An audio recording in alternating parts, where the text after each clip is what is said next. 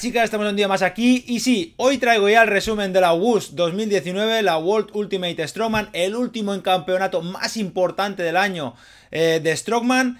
Y la verdad que fue, bueno, un poquito descafeinado porque hubo unas cuantas bajas muy importantes, también veremos unas tendencias, hablaremos un poquito de las tendencias y luego probablemente haré un vídeo hablando sobre este tema. Y nos vamos a centrar también a quién fue el campeón, cómo fue la clasificación, el tema del Max Deadlift que parece que se está como enquistando el tema.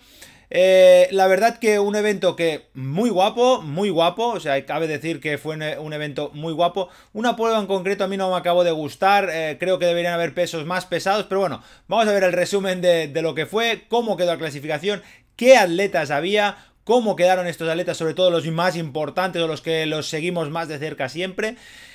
Y bueno, vamos a, empezando, vamos a empezar diciendo ya sí o sí que Mateus ganó. O sea, Mateus eh, este año termina eh, el 2019 espectacular, espectacular, subcampeón del mundo, de lo que fue la World, eh, World Strongest Man. quedó subcampeón por detrás, de, por detrás de Martin Licis. Luego en el Arnold de Europa ganó, fue campeón y ahora vuelve a repetir, bueno, ganó también un Giants Live, también campeón del, último Giants Live de este año en Manchester, y ahora se impone en la WUS, eh, que es uno de los eventos más importantes, sobre todo a temas económicos que hay en el, en el panorama de Stroman, ya lo sabéis, en otros vídeos he hablado bastante de estos temas, de los cuales son los más importantes. Bueno, pues Mateus se impuso, unas cuantas sorpresas en lo que fue, para mí, ¿eh? en lo que fue en el, en el podio principal, porque los acompañaron los, hermanos Stallman, Luke y Tom Stallman. Eh, la verdad es que espectacular, los dos hermanos que cada vez van a más. Y parece pues que, que, están pues subiendo, terminan el año muy bien, o sea, empezaron el año que a lo mejor no, está, no tenían tanto bombo y han terminado este 2019 por, por, por arriba del todo, ¿eh? ya digo, ¿eh? cerrando este podium para segundo y tercer puesto. Cuarta posición para Brian Shaw, un Brian Shaw que va, que ha ido de más a menos, Parecía que este 2019 pintaba muy bien cuando empezó el, Arnold de Estados Unidos, se lesionó en el peso muerto y desde entonces no ha salido del pozo. Si puedo y tengo tiempo, haremos un vídeo hablando eh, específicamente de Brian Shaw, de lo que ha pasado. Eh, quinto, Rauno Heinla, un Rauno Heinla que también va a más, eh, probablemente nadie se esperaba que pudiese quedar pues en esta quinta posición, Rauno Heinla. Empatado también con Oleksiy Novikov, o sea, un Rauno Heinla que también empata con Oleksiy Novikov. Y empatan con 42 puntos y medio. Y como los dos eh, ganaron una prueba, pues están empatados en la quinta posición. O sea que no pueden quitar a uno, o bueno, o no quieren quitar a uno y ponen a los dos en la quinta posición.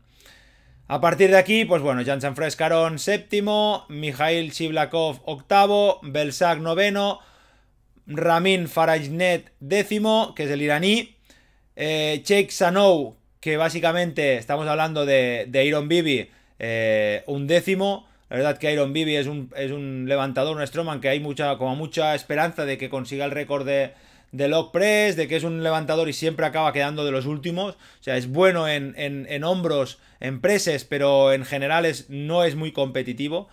Radikovski, 12 ya es, ya, ya es mayor. Radikovski, la verdad es que el polaco ya es mayor. Jerry Pritchett, decimotercero. Y Terry Hollands, último décimo cuarto.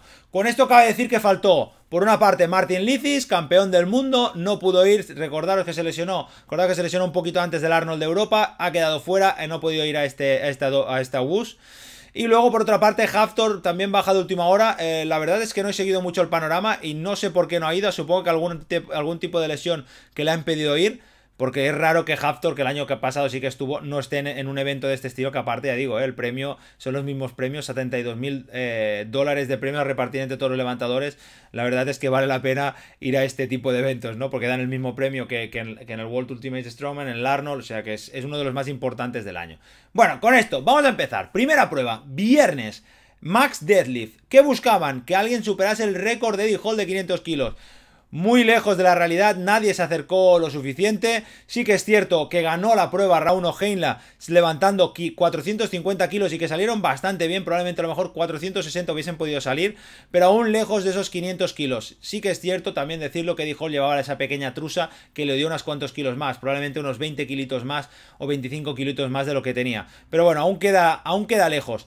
Todo el mundo esperaba que Jerry Pritchett pues, fuese el que ganase esta prueba o que fuese uno que se acercase bastante más al, al récord de, de Hall. No, Jerry Pritchett se quedó con 440 empatado con Mikhail Sibliakov en esta primera prueba también con 440 kilos. La verdad es que bastante mal. Otro que pensamos que a lo mejor si llegaba en buen estado de forma podía superar este peso muerto Brian Shaw. Nada 400 kilos falló 420 kilos. Brian Shaw que hemos dicho eh, ha ido de más a menos. Parecía que hasta podía superar los 500 kilos al principio de año. Se lesionó el Arnold ya no pudo probar esos ese intento de récord de peso muerto ya no pudo nada. Y la verdad que desde entonces ha ido eh, de mal en peor. Y bueno, si seguimos también un poquito, pues en este caso Lexi Novikov 400 kilos, le penaliza, es junior aún, tiene 23 años, aún tiene que mejorar este peso muerto. Eh, y Mateus, ha mejorado un poquito el peso muerto, sacó 420 kilos. Bueno, parece que va mejorando un poco el peso muerto, porque es uno de los puntos débiles de Mateus, muy bueno en preses, muy rápido en, en todo lo que sean pruebas dinámicas, como por ejemplo, pues yugos o maletas, pero luego en el peso muerto, por ejemplo, suele fallar muchísimo, o hasta en Atlas Stones también suele fallar bastante. Bueno, un Mateos que consiguió 420 kilos, por lo tanto ya no, no le penalizó tanto el peso muerto, también probablemente porque no estaban, no estaban ni, ni Mateus ni Haftor, pero bueno, pues ahí está. Primera posición hemos dicho, Raúl la segundo empatado Jerry Pritchett y Mijail Shibliakov, ya que a partir de aquí vamos bajando, ¿vale? Cuarto sería Tom Stallman, y aquí vamos bajando. Siguiente prueba, que ya fue el sábado, ¿eh? Esta prueba la dejaron solo el viernes por la noche. ¡Pam! Eh, peso muerto, máxima, máximo peso. Truck pull, 23 toneladas, 30 metros. 23 toneladas, ¿eh? Ojo el camión que tenían que llevar, espectacular el camión. ¿Quién se impuso en esta prueba? Pues Mateus, hemos dicho Mateus, las pruebas dinámicas, este, esta prueba de movimiento ganó ganó. Fue uno de los pocos que terminaron la prueba. De los 14, solo 4 terminaron la prueba. Los otros se quedaron, mm, pues hicieron metros, no llegaron al final. Eh, por lo que se impuso Mateus. Segundo quedó Christoph Radikowski. Muy fuerte el Christoph en esta prueba. Tercero Brian Shaw. Brian Shaw que mejoraba un poquito. Y a partir de aquí vamos bajando ya. Eh, ninguno de los que en principio de esto pues sacaron muy buena nota, porque el primero también sería Luke Stallman, que es subcampeón, pues sacó 10 puntos, por lo tanto bastante más abajo. Y bueno, ya digo, una prueba, un camión pesado, ¿eh? Mm, siguiente prueba, Locklift. Aquí sí que es guapo. 180 kilos. El que haga más repeticiones ganó. ¿Quién ganó? No, no fue Mateos, que os pensáis que sería Mateos. No, ganó Jake Sanow. Ah, Iron Bibi, sí señores. 5 repeticiones 14 puntos se llevó Iron Bibi en esta prueba. hemos dicho que en, lo que es en empresas, Iron Bibi es muy, muy fuerte. Siguiente, empataron Mateus con 4 repeticiones, Luke Stallman también con 4 repeticiones. Y a partir de aquí vamos bajando a 3 repeticiones, 2 repeticiones, 1 o 0, ¿vale? Terry Hollands se lesionó en el truck pool y quedó fuera, ya no hizo ni Locke, ni Carry, ni Atlas, por lo tanto se quedó fuera Terry Hollands, una lástima esta lesión. Y ya digo, esta prueba que, la, que se la llevó Iron Bibi, pero eh, Mateus quedaba segundo, empatado con Luke Stallman, quedaba segundo, por lo tanto, eh, sumando ya nueve puntitos del primero, un peso muerto que no quedó de los últimos, quedó a lo mejor quinto, sexto, o séptimo, más bien. Primero en el, en el truck pull y segundo empatado con el lift, veíamos que Mateus empezaba a, a encaminar una buena tanda de, de notas. Siguiente, Carry Medley, que era una combinada 300 kilos de yugo a 15 metros con un 180 kilos de escudo, un escudo de la, w, de la WUS, también 15 metros. Aquí es lo que digo yo, que el yugo de 300 kilos a mí no me acaba de convencer. Creo que el yugo 300 kilos, yo creo que por lo menos ponen ni que fuesen 400 kilos. No digo ya un super yugo de 400, de 500 o, 550, pero por lo menos uno de 400, que este nivel que tienen esta gente ya seguro que lo mueven, vamos, es una pasada. ¿Cómo fue esta prueba? Bueno, pues esta prueba se la llevó eh, Oleksiy Novikov. Oleksiy Novikov, que no habíamos dicho nada con él, porque la verdad es que en, en el cilindro no le fue muy bien. Hizo tres repeticiones, pero es muy fuerte también de haciendo preses y la verdad que una lástima. Pero bueno, en esta prueba se impuso Oleksiy Novikov, todos muy, muy, muy, todos muy, muy parejos. Segundo quedó Luke Stallman, otra vez Luke Stallman eh, repite segunda posición, posición. Tercero, nada, cuatro centésimas, Mateusz Kelikowski y a partir de aquí ya vamos bajando. La verdad es que un Oleksiy Novikov que este año espectacular, ¿eh? en esta que ha quedado empatado en quinta posición. Eh, ahora veremos la, diferencia de puntos, pero ya digo que, espectacular lo de este chaval, 23 años en su primer año pro, ¿eh? en su primer año pro, estar en todas las competiciones, exceptuando en el, en, bueno, en la World Strongest Men que le estafaron con la prueba esa del, del carry, ese de la mierda esa del, del barril, ese de tirar el barril, que encima hicieron récord el el, joder, el, Strongman que hizo contra él, la verdad es que bastante, bastante, bastante bien Novikov, con ya dos Arnolds ganadas, la de Sudamérica y la de África, espectacular, el ¿eh? de Olexi, muy bien Olexi. Pues bueno, en esta se impuso, segundo lo hemos dicho Luke Stolman, tercero Mateus, y ya por último, para finalizar este campeonato, ya la última prueba, una típica Atlas de Stone, 10 piedras, 10 piedras de entre 100 y 200 kilos. O sea, 10, no 5 o 6 como suelen poner, 10 piedras. Espectacular. Y con esto nos llevamos un nuevo récord del mundo. Bueno, un doble récord del mundo de tiempo. Primero lo consiguió eh, Brian Shaw. Consiguió el récord con 1 minuto 02 segundos.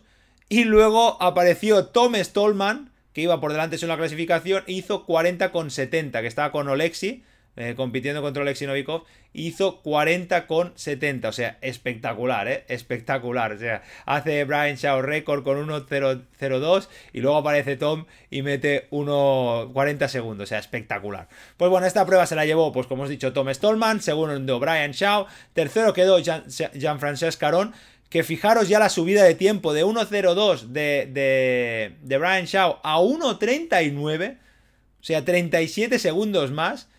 Y a partir de aquí vamos subiendo. ¿eh? El siguiente Luke Stallman, 2 minutos 10. Eh, un Mateusz Kielikowski que sacó 2 minutos 30, hizo 8 bolas. Mm, ya da igual, tampoco, tampoco es preocupante porque probablemente haciendo las 8 bolas ya había ganado sí o sí.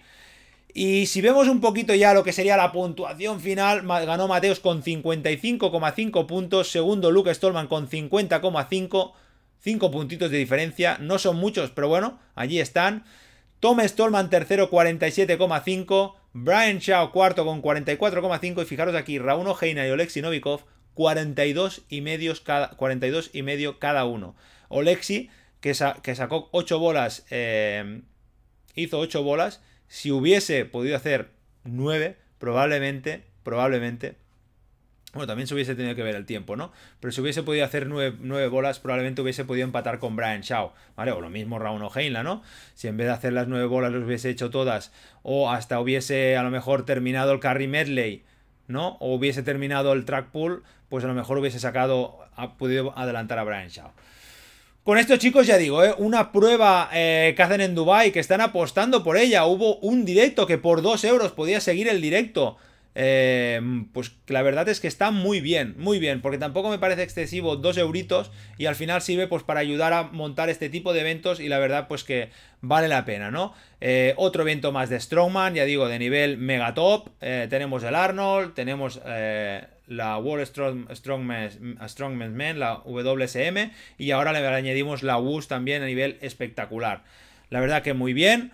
Ahora ya nos queda eh, la prueba de, del Arnold clasificatoria, porque acordémonos que esto sí que lo dijimos, que Brian Shaw no está clasificado para, la, para el Arnold de Estados Unidos Pro, ni Martin Lippi están clasificados, por lo tanto estos dos levantadores solo les queda porque a puntuaje por ir a otras eh, competiciones no pueden, no pueden optar, por lo tanto entre los dos se deberán intentar, si es que van los dos, sacar una plaza en el último Arnold que queda, el de Estados Unidos, que si no recuerdo mal es en Santa Mónica, si no me acuerdo mal, y se va a celebrar, pues me parece que es a principios de enero, finales de diciembre, ¿vale? Y es la última prueba que quien gana se clasifica para ir al Arnold eh, Pro de Estados Unidos. Veremos cuál de los dos, o los dos, o ninguno de los dos, consiguen esta clasificación. Luego ya volvemos a empezar con el Arnold a tope, que este año seguro que va a ser aún más espectacular, con un Mateus increíble, con un Oleksiy Novikov que va en su vida espectacular, siendo